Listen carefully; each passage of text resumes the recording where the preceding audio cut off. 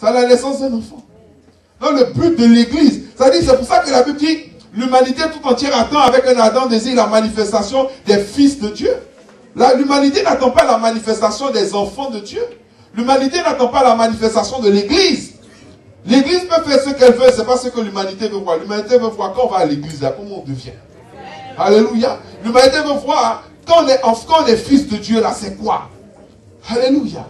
Et quand ils commencent à voir ça, commencent à voir des fils et des filles, des gens qui sont capables de manifester l'autorité de Dieu, de marcher dans la puissance de Dieu, d'être de, au contrôle de leur vie, de leur situation, à ce moment-là, ils disent, non, moi je vais aller à l'église comme toi. Alléluia. Mais on ne leur montre pas des fils, on leur montre des enfants. On leur montre des enfants.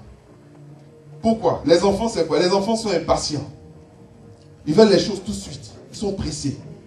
Un enfant te demande quelque chose, 30 secondes plus tard, il va te redemander encore. 30 secondes encore, il va te redemander.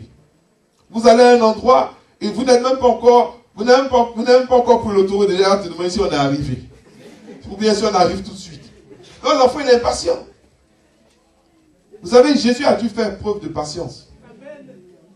Lui qui est fils de Dieu, il est né à 12 ans déjà. Quand on lui a demandé, il a dit, écoute. On dit, mais tu fais quoi avec les pharisiens là? Dépêche, on va partir à la maison. Il dit, je dois m'occuper des affaires de mon père. Donc déjà à 12 ans, il avait déjà la conscience de qui il était et de ce qu'il était appelé à faire. Mais entre 12 ans et 30 ans, où Dieu a dit, celui-ci est mon fils bien-aimé en qui j'ai mis toute ma confiance, il y a 18 ans qui se sont écoulés. Pendant ces 18 ans, la Bible dit qu'il grandissait en stature, en sagesse, devant Dieu et devant les hommes. Vous, attends, vous ne vous posez pas la question. À 20 ans, Jésus déjà voulait aller prêcher l'évangile. Il voulait imposer des noms malades. Il voulait déjà aller donner le message. Mais il ne pouvait pas. Il a dû apprendre la patience. À 21 ans, il voulait le faire. À 24 ans, il pouvait s'estimer prêt. L'âge de la majorité, même, c'est 18 ans. En Israël, déjà à 22 ans, 23 ans, les gens se marient. Ils ont des enfants. Mais lui ne l'a pas fait. Quelle patience il a dû manifester. Attendre. Attendre. Et continuer à travailler dans sa vie. À scruter les Écritures. À prier. À se lever tôt le matin. Aller sur le mont des Oliviers. Prier. Jeûner. Lui qui est le Fils de Dieu. Ce n'est pas avant 30 ans. Pourtant, déjà à 12 ans, il savait ce qu'il était appelé à faire. Est-ce que vous me suivez? Et nous, on veut les choses fast. On veut les choses tout de suite. On veut les choses rapidement. Comme les enfants. C'est les enfants qui sont comme ça. Donne-moi, donne-moi, je vais ça maintenant, maintenant. Impatient. Les enfants sont souvent menteurs. C'est bizarre, mais un enfant ne lui apprend pas à mentir. On lui apprend à dire la vérité. C'est ça, nous, notre rôle de parents, c'est d'apprendre à l'enfant à dire la vérité. Sinon, mentir là, on dirait qu'il il, il, il, est avec ça. Les enfants aiment exagérer les choses. Quelque chose lui arrive, un petit truc, il va crier, pleurer, exagérer. Les enfants aiment faire des histoires entre eux. Tu mets trois enfants, deux enfants dans un endroit, tout de suite, il y a un palabre dans, dans, dans les dix minutes qui vont suivre. N'est-ce pas? Les enfants aiment se plaindre. Il m'a fait ça, il m'a fait ci.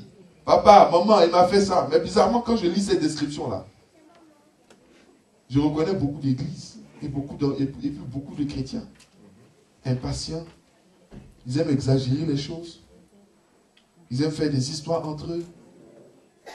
Non, la sœur Sylvie, là, vraiment, elle n'est pas bien. Le frère, il est comme si. Non, ceci, cela. Et ils aiment se plaindre. Tu vois? Il faut sortir de, de, la vie d'enfant. J'ai dit, le diable même connaît les fils de Dieu. Verset, verset 3. Donc le tentateur s'était approché, lui dit, si tu es fils de Dieu, ordonne que ces pierres deviennent, deviennent du pain. Mais il est fils de Dieu. C'est pour ça qu'il lui a répondu, l'homme ne vivra pas de pain seulement, mais de toute parole qui sort de la bouche de Dieu. Parce qu'il est vraiment un fils. Le problème, c'est que si tu donnes l'autorité à un enfant, si l'enfant avait reçu l'autorité, la domination, il allait tomber dans le piège du diable. Si tu es vraiment un fils, il faut ordonner que ce pain, que ces pierres deviennent du pain. Ah bon? Donc tu n'es pas sûr que je suis fils alors. Bon, regarde. allez, toutes les pierres deviennent du pain.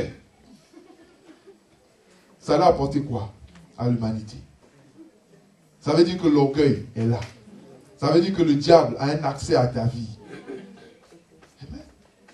Mais il allait sur la il n'a pas dit si tu, es, si tu es enfant de Dieu.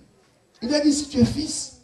Parce qu'il sait la différence. Il sait qu'un enfant de Dieu ne peut pas ordonner à des pierres de devenir du pain. Mais un fils de Dieu le peut.